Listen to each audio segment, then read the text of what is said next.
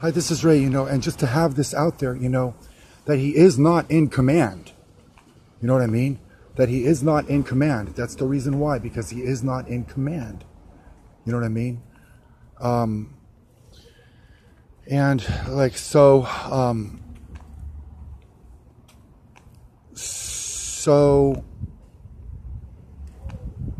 the homeless communities, okay, the homeless communities, um, they need to be um, looked at as if there was this witch doctor that you're talking about your loyalty, like for the um, for the department or your loyalty for the um, for the establishment.